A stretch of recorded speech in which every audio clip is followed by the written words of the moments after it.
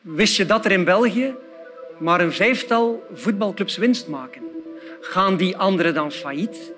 Of kunnen die zo slecht hun geld beheren? In dit college leg ik uit wat er al jaren fout loopt en wat we er kunnen aan doen. Leven Belgische voetbalclubs boven hun stand? Vanuit Versus in Hasselt, dit is de Universiteit van Vlaanderen. Het profvoetbal zit er warmpjes bij. De miljoenen stromen binnen. En nog in onverdachte pre-coronatijden bedroeg de totale omzet van een goede twintig Belgische profclubs 400 miljoen euro. En prima nieuws, opnieuw een verbeterd televisiecontract. In 2020 nam dat toe van 80 naar 103 miljoen euro. Ook inkomsten uit sponsoring, abonnementen, meerwaarde uit transfers, Europees deelname en prijzengeld bleef jaarlijks stijgen. Geen verrassing en logisch dat ook de lonen van de topvoetballers in de kopgroep zitten van de lonen in België. Dus met een bruto gemiddeld jaarloon van 330.000 euro. En en plus is de Belgische overheid die steenrijke voetbalsector zeer genegen. Met jaarlijks ongeveer 160 miljoen euro belastingvoordelen. Zo betaalt een topvoetballer minder sociale zekerheid dan een poetsvrouw of een trambestuurder. En toch, raar maar waar, enkele weken voor het uitbreken van de COVID-19-pandemie lazen we in de krant dat jawel, 20 van de 24 profclubs verlieslatend waren. Dus voetbalclubs geven meer uit dan ze ontvangen. Waarom toch hebben clubbestuurders een gat in hun hand?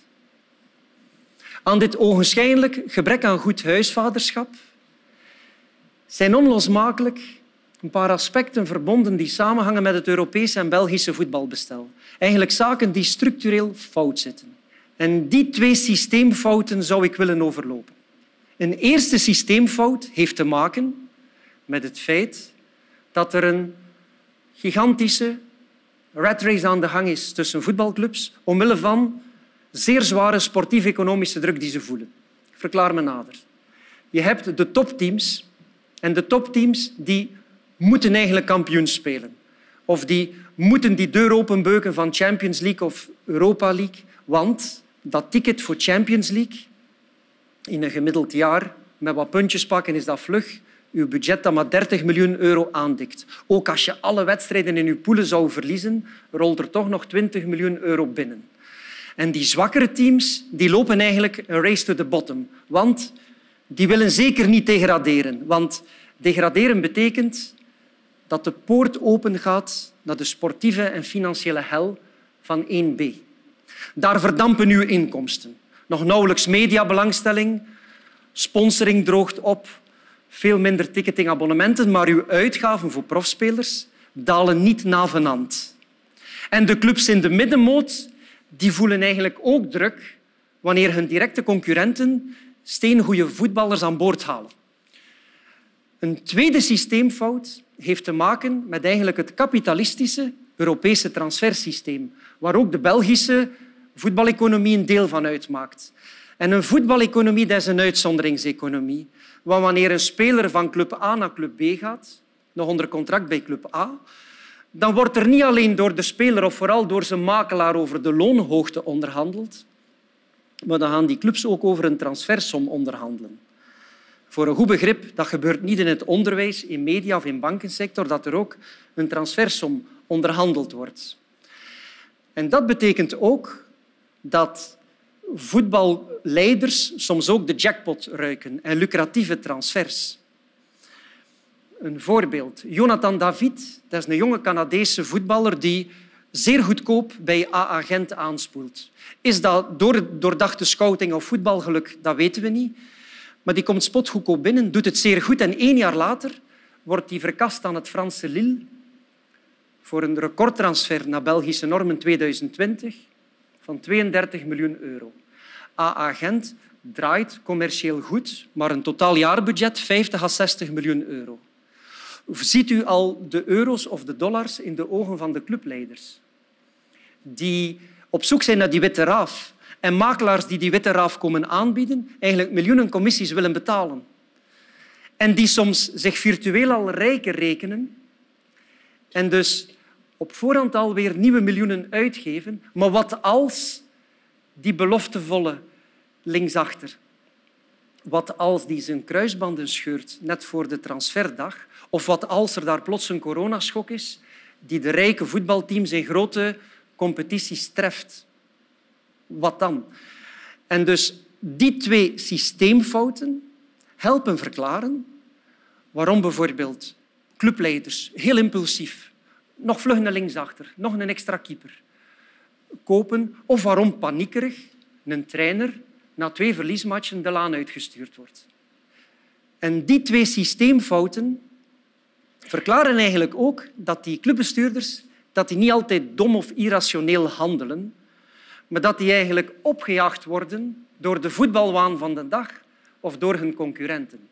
En dus is de volgende vraag, hoe kan je nu die structuurfouten eruit halen of hoe kan je die rat race stoppen? Kan je die stoppen?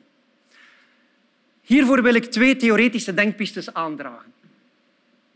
Theoretische denkpiste 1, dat is af en toe hoor ik zo'n voetbalvoorzitter verzuchten. Ah, zegt hij, konden we maar eens onze rug rechten.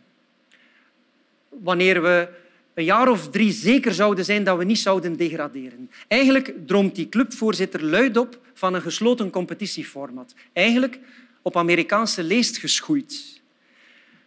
Interessante paradox. Kapitalistische Verenigde Staten hebben een heel socialistisch herverdelend sportsysteem. Met loonplafonds, met diverse herverdelingsmechanismen. In Europa het casino-kapitalisme.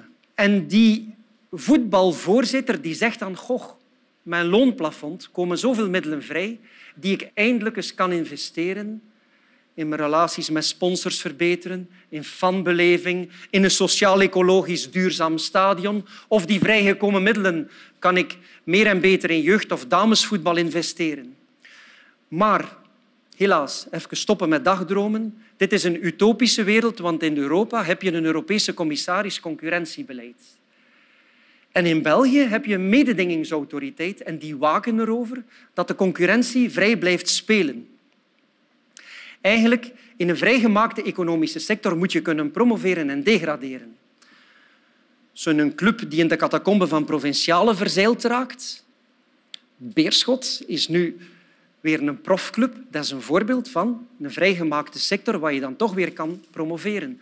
Want je zou je competitie maar sluiten onderaan. Dat zou dan eigenlijk betekenen dat een club in lagere competitie bij de mededingingsautoriteit klacht zou indienen en daar zijn gram zou kunnen halen. De tweede theoretische denkpiste, dat kapitalistisch transfersysteem, kunnen we dat gewoon niet afschaffen. Want eigenlijk druist dat toch in tegen het vrij verkeer van personen. En juridisch zijn daar gronden voor. Maar de Europese voetbaleconomie is een uitzonderingseconomie, dat is een sterke belangengroep. En tot nader order blijft dat transfersysteem bestaan. Kan men die uitzondering bedingen, onder andere omwille van de kracht van jeugdvoetbal en andere argumenten. Dan zou je kunnen zeggen, kunnen we toch die transferactiviteit niet wat dimmen. Bijvoorbeeld de zomertransferperiode inkorten of de wintermercato afschaffen, want die is heel ontwrichtend. Of het aantal contractspelers per club gewoon sterk beperken. Of het aantal te transfereren spelers beperken. Ook dat blijkt een moeilijk verhaal. Dus onze theoretische denkpistes doen het niet. Laat ons daarom gaan voor een heel pragmatische oplossing. Dat is gewoon meer en strengere regulering van het Belgische voetbal. En hier start ik eerst weer op Europees niveau. Een jaar of tien geleden is men gestart met financial fair play. Hoe kunnen we zorgen voor een financieel gelijker speelveld? Want er waren bij topclubs of clubs die Europees speelden wel diverse uitwassen. En de Europese Voetbalbond zei van kijk, je mag eigenlijk niet meer uitgeven dan wat er binnenkomt aan lopende inkomsten, met een beperkte speelruimte voor verliezen. Maar wat men dan zag, is dat een aantal clubs met vooral eigenaars uit de golfstaten erin gespecialiseerd waren om inkomsten kunstmatig op te pompen. Bijvoorbeeld een Qatarees ministerie van Toerisme staat op het shirt van een team. Specialisten zeggen van mm, marktconform is dat 5 miljoen euro waard, maar men schrijft dat voor 100 of 200 miljoen euro in de boeken. Monopoliegeld dat de sheiks uitgeven aan de Neymars van deze wereld. Dus denk aan Manchester City, Paris Saint-Germain. En dan kom je bij een hele moeilijke discussie van hoe kunnen we dat misbruik in kaart brengen en hoe kunnen we dat sanctioneren. Met een verwittiging, met een geldboete, met uitsluiting uit Europese competities. Ook hier weer wat conflict tussen het economisch en het juridisch kader. Juridische afdwingbaarheid heel moeilijk. Maar een paar jaar geleden, ook in België, is een light versie van Financial Fair Play opgericht. Ook omdat diverse Belgische profvoetbalclubs niet Europees meedingen en dus niet aan die Europese financial fair play onderhevig waren. En die Belgische fair play die zegt van kijk, over een periode van drie jaar mag je niet meer dan 5 miljoen euro meer uitgeven dan uw lopende ontvangsten. Met ook weer diverse uitzonderingen. Onder andere als je in infrastructuur of in jeugd investeert, dat valt daar dan niet onder. En anno 2020 zit men nu in de fase van voor het eerst clubs die in de donkerrode cijfers zitten, dat daar knipperlichten branden, dat er om de drie maanden toezicht is dat men zich moet verantwoorden van kan je die uitgaven niet meer in lijn brengen met uw ontvangsten of schulden wegwerken. Maar die regulering kan en moet nog verder gaan. Zo zou je aan clubs bij licentietoekenning nog meer kunnen kijken naar bijvoorbeeld infrastructuurparameters, parameters van hinterland, aantal abonnees, maar zou je ook doorstromingsquota van jeugd naar een eerste team of in België opgeleide spelers daar ook beloningsparameters voor geven? En vooral ook beter tegen het licht houden wat de buitenlandse investeerders en investeringsgroepen in dat Belgisch profvoetbal komen zoeken. Voor hen is het Belgisch profvoetbal qua regulering wat een lui lekker land. Weinig vereisten opgelegd. Bijvoorbeeld het minimumloon voor een niet-Europese Uniespeler ligt bij ons vijf keer zo laag als in Nederland. Als dat nu drastisch verhoogd zou worden, zouden ook de buitenlandse goudzoekers, het zijn niet allemaal goudzoekers, maar er zijn investeringsgroepen die korte termijn transferwinsten najagen, zouden die ook wat gemakkelijker gedimd worden. Want meer dan ooit hebben we geleerd dat schokbestendigheid belangrijk is. En die schokbestendigheid zit in die herverdeling van het Amerikaans sportsysteem. Of denk aan de stootkussens die aan banken opgelegd werden na de bankencrisis. Want nu hebben we ten volle door dat ook voetbalclubs en zeker clubs zich moeten wapenen tegen negatieve vraag- en aanbodschokken. Want daar was plots die coronaschok. Impact op korte termijn, speeldag 30 gaat niet door en een lange play-off-competitie. Dus directe zware economische schade. Een nieuw seizoen wordt opgestart, zonder publiek, met beperkt publiek. Veel inkomsten verdampen. En vooral lange termijn impact van corona zal niet min zijn. Er komt een geladen kerntakendebat voor de overheid. Namelijk, hoe kan de overheid met minder middelen meer doen? En ongetwijfeld zal het politieke en maatschappelijke draagvlak, en dat was al afgebrokkeld, voor die oversubsidiëring van het Belgische voetbal ook verder afbrokkelen. Op nu de vraag of Belgische voetbalclubs boven hun stand leven, daar kan eigenlijk meestal volmondig ja op geantwoord worden. Helaas bestaan er geen toveroplossingen. Wel dringt meer regulering zich op. Want de voetbalbestuurders moeten prikkels krijgen om minder risico's te nemen. Maar er ligt nog veel werk op de plank vooraleer voetbalbestuurders zich als goede huisvaders gedragen en beter de tering naar de nering gaan zetten.